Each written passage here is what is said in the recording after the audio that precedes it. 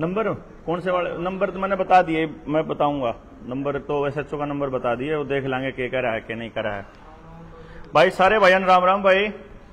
और आपको एक और नई खबर दे दें, एक नया अपडेट दे दें।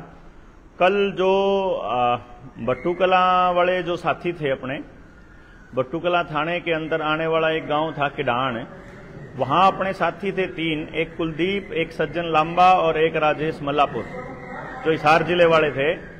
उन्होंने एक ताला तोड़ा था, उस मकान का ताला तोड़ा था, जिस मकान के कागजात जनता सरकार मोर्चा ने बैंक को लगाए हुए थे। और ये चैलेंज है हमारा बैंकों को भी और पुलिस को भी, कि तुम लोग इन लोगों को गिरफ़्तार करो, इनके ऊपर मुकदमा दर्ज करो और हम आपको बताते हैं कि तुम्हारी जड़ों को कैसे उखाड़ा जाएगा फिर। आपको यह मालूम पड़ना चाहिए कि जो फ्रॉड कर रहे हैं बैंक, इसके बारे में सारे के सारे देश को पता है। जिस, जो जो व्यक्ति जनता सरकार मोर्चा को जानता है, जिस व्यक्ति ने भी जनता सरकार मोर्चा की कार्यप्रणाली देखी है, उनको मालूम है कि जनता सरकार मोर्चा के आदमी सच के साथ खड़े हैं। आप शेयर कर दो, इसको मैक्सिमम लोगों तक पहुंचाओ। थानेदार उठा के ले गया हमारे आदमियों को। तीन लोगों को, जिनका नाम मैंने कमेंट बॉक्स में भी लिखा हुआ है, कुलदीप, सज्जन और राजेश को। आपको पता लगे कि ये तो बहुत महँगा पड़ेगा बैंक वालों को। कौन से उनके ऊपर आरोप लगेंगे? कौन सी धाराएँ लगेंगी? हम थानेदार को एक बात ज़रूर कहो भाई, सारे जने थानेदार ने फ़ोन करके ये ज़रूर कहना है कि बैंक को हमने आवेदन दिया हुआ था और उसके बावजूद बैंक ने कोई जवाब नहीं दिया। मजबूरी में आकर मालिकों को बैंकों के ताले तोड़ने पड़ रहे हैं, क्योंकि पता लग चुका है। अब बैंक ई ऑक्शन पे उतर आए हैं कि वो लोग ज़बरदस्ती ऑक्शन पे आ गए हैं कि मर्ज़ी से जब मर्ज़ी किसी की मकान का ऑनलाइन ऑक्शन कर दो।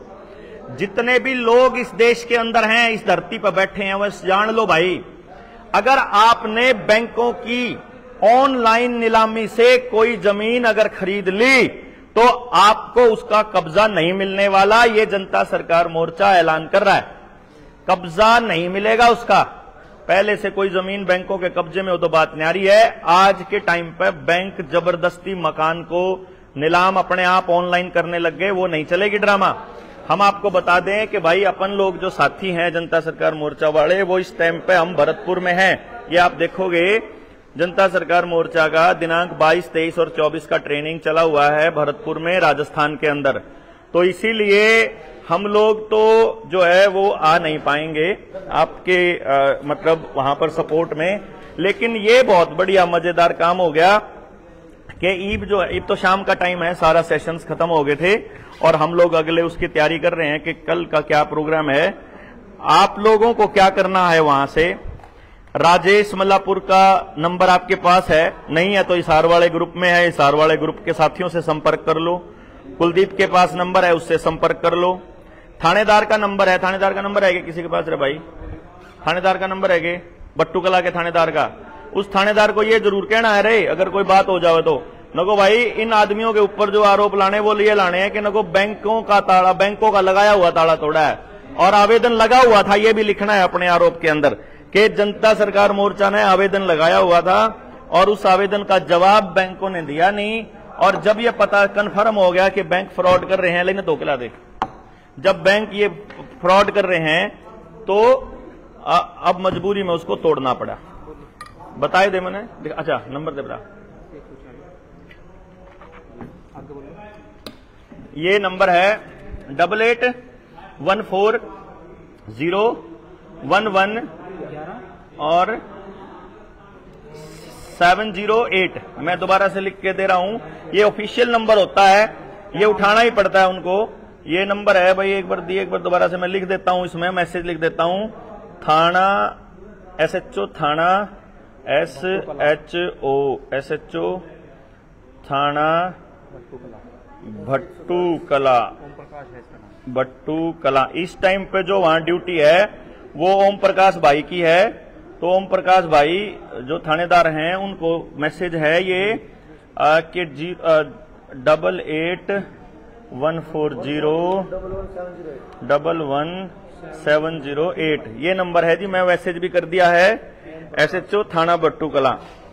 ओम प्रकाश जी और इसमें सेंड का ऑप्शन आ गया। ओम प्रकाश भी लिख दियो भाई। ओम प्रकाश मिस्टर ओम प्रकाश, मिस्टर भी लगा देते हैं अभी के लिए।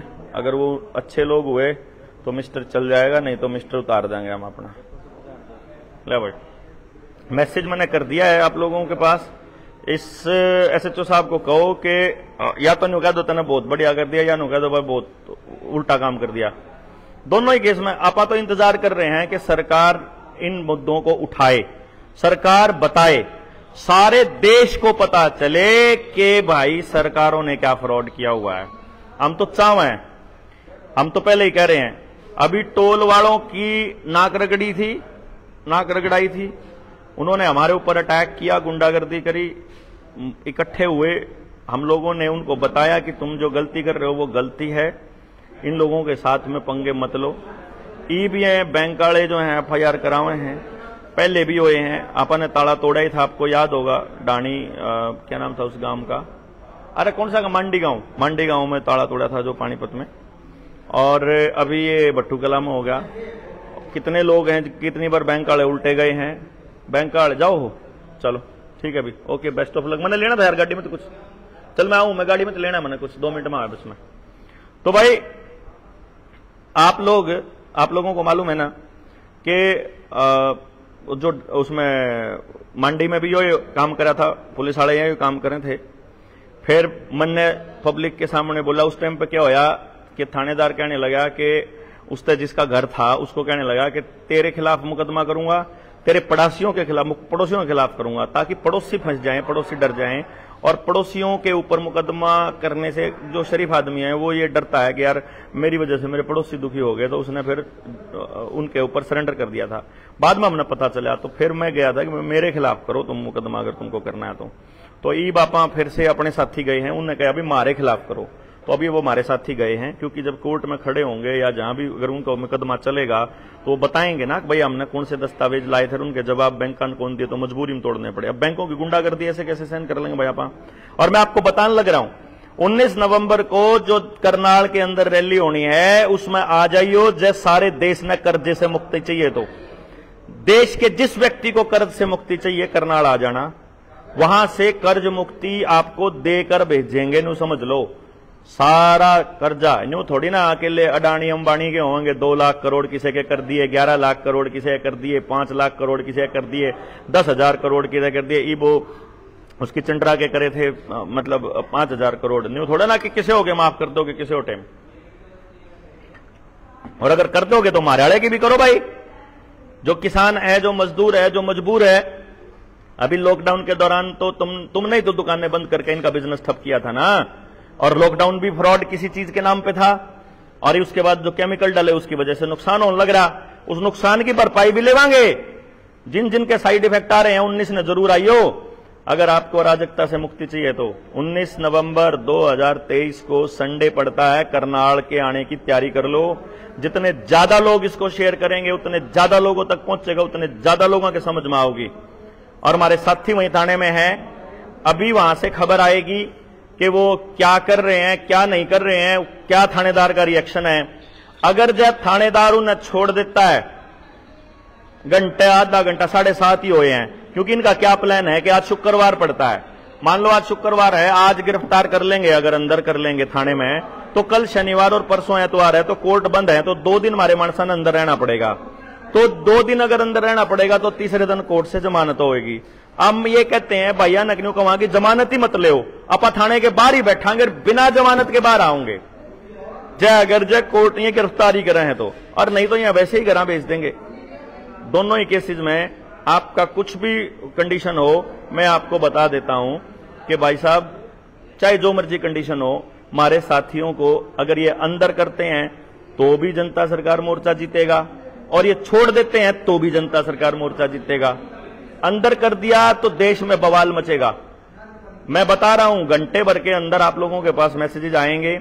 मैं अपने इसी व्हाट्स जो डॉक्टर देवेंद्र बलारा वाला मेरा फेसबुक की आईडी है, इसी के ऊपर मैं अपडेट करूँगा, क्योंकि बाकी आईडी इसकी तो इन्होंने, इसकी भी लिमिट तो मतलब जो वो है, क्या कहते हैं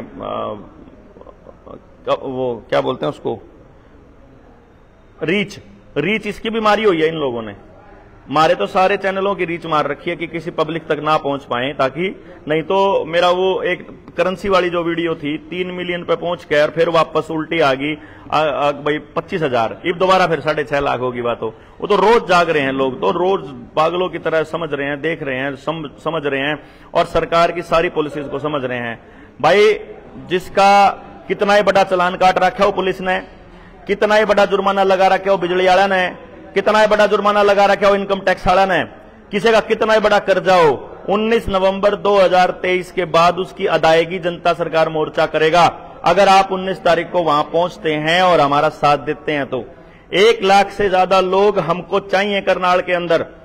और खट्टर जहांगा ला लियो, तारा एक सौ चौवालीस ला लियो, हमने गिरफ़्तार करके देख लियो, हमारे खिलाफ कोई भी षड्यंत्र करके देख लियो, हमने मारपीट के देख लियो, हमारे ऊपर डंडे बरसा के देख लियो यो समझ लियो कि एक लाख लोग से प्लस लोग करनाल में पहुँचने चाहिए। और ईब जो भी वहाँ होता है, वो जो भी भट्टूकला में होता है थाने में, वो हम आपको बताएँगे। इसके साथ अपडेट करके न जैसे भी जो भी स्थिति निकलेगी, हम आप साथियों को तक पहुँचेंगे। आप शेयर करते रहो, ज़्यादा लोगों तक पहुंचाते रहो लिंक को मैक्सिमम लोगों तक पहुंचाओ। पब्लिक को पता लगना चाहिए कि बैंकों का कर्जा उतारने का समय आ गया है। एक एक रुपया चुकता करेंगे। कानून के हिसाब से चुकता करेंगे। बैंकों ने जो देश की जनता के साथ फ्रॉड किया है, उस फ्रॉड का बांडाफोड़ करेंगे। इस पूरे षड्यंत्र Rothschild Rockefeller Bill Gates sir के, इनके तो मनु समझ लो, इनके डोबरे बिकवाण का काम जनता सरकार मोर्चा करेगा। और जो इनके गुलाम हैं, जितनी पॉलिटिकल पार्टियों के लोग हैं, सारे के सारे की मुँह में दही जम रही है इनके।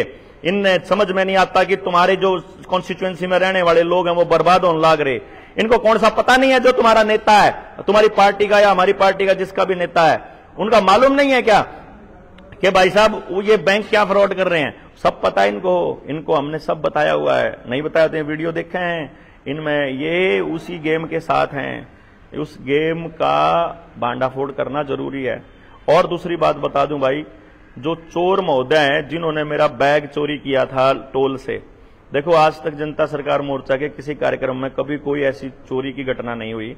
उस दिन हमारे साथियों ने सोचा कि ये भी सारे शरीफ लोग होंगे, जबकि पता था कि उड़ा तो गुंडे ही बसे हैं। तो वहाँ उनका एक आदमी घूम रहा था इधर उधर। पहले तो उन्होंने सारे सीसीटीवी कैमरे बंद करे, जो उसको कवर कर रहे थे। फिर मेरा बैग था एक, जिसके अंदर मेरा एक मोबाइल है, सैमसंग का एस नाइन प्लस, जो कि मेरे कुछ मतलब ये समझो कि सारी वीडियोस जितनी थी, उसके अंदर थी सारी, जो उस टाइम पर शुरू से लेकर तक की। सारे मोबाइल नंबर थे वह सारे वो भी थे इसके अंदर ही। और वो सब उसके अंदर थे। और वह क्या करे आ, उसने क्या करा कि वहाँ से वो बैग चोरी कर लिया। उसमें अपने आ, इसके एप्पल के एयरपोर्ट्स थे टू वह सेकंड जनरेशन वाले वह भी चोरी हो गए। एक में वो अपने ध्यान हो में दो दो हज़ार के वह नोट थे जो मैं क्या करता कि ये बैंकों को लगाने हैं जिन्हें चाहिए बता दियो। वह एक गड्डी वाह थी मांग के लिया था। कि भाई तेरे दे दूँगा जब लोग 500 500 के वापस में दे होंगे। एक वाह थी। एक वीर सिंह ने मेरे को कुछ पैसे निकलवा के दिए थे। डॉक्टर साहब रस्ते में ज़रूरत पड़े तो खर्च हो जाए। एक पचास हज़ार की गड्डी थी। मेरा बटुआ था, जिसमें मेरा ड्राइविंग लाइसेंस था, जिसमें मेरा पैन नंबर था, जिसमें मेरा वोटर कार्ड था, और जिसके अंदर मेरा आधार तो मेरा होता नहीं। ना इसका तो क्या करूँगा मैं? गाड़ी वाला तो पहुंचंदा चश्मे, है? यो, मैंने और कागज़ चाहिए और तो वो सब थे और मैं सारे के सारा वो ले गया।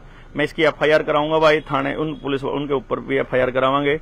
और आप लोगों को कहीं भी नज़र आए या फिर उस चोर भाई को बोलो कि भाई, मेरा बटुआ चोरी करके ले गया था, उस बटुए में तो मेरे कागज़ कागज़ पचा दे, नहीं तो वो टाइम खराब होएगा और मैं 19 नवंबर तक बिना ड्राइविंग लाइसेंस के ही चालूँगा फिर। फिर ड्राइविंग लाइसेंस तो हर सरकार तो मैं भी दिखाया करता कोई कागज़। फिर मन्ना पंगा लेना पड़ेगा, फिर गिरफ़्तार होना पड़ेगा, फिर तुम्हारी गाड़ी जब्त करेंगे, फिर रोड़ा होगा सरकार की गेल तो जब मेरा भाई, मेरा मेरा, जो है मेरा बटुआ मेरा बटुआ बटुआ बचा दो रुपये सारे रख ले भाई। हम तो और कर लेंगे कोई बात नहीं। लेकिन आ, बाकी सारे साथी हैं अपडेटेड रहो। बट्टू थाने से जो भी खबर आएगी मैं अपने डॉक्टर देवेंद्र बराड़ा वाले उस फेसबुक आईडी पर डालूँगा। आप लोग भी अपडेटेड रहो। अपने जनता सरकार मोर्चा के ग्रुप्स में एक्टिवेट हो जाओ। वीडियो को ज़्यादा ज़्यादा लोगों तक पहुंचाओ। आप शेयर करो मैक्सिमम एक एक आदमी दस दस पचास सौ सौ सौ लोगों तक शेयर करते रहो। शेयरिंग पर दुम्मा था दो बस मतलब नहीं समझो।